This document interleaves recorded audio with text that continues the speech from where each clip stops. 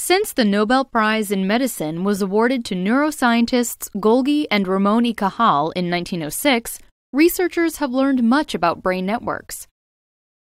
A connectome is a map of all neural connections in the brain.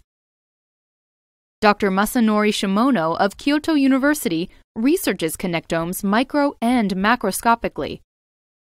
His group estimated the speed it took signals to travel across the brain and found that most signals take the shortest path, revealing that the brain is almost optimally wired for communicating between its different regions.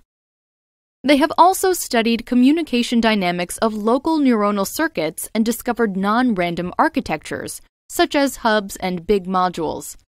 It is important to bridge the spatial gap between these two scales and also to pinpoint where cells are.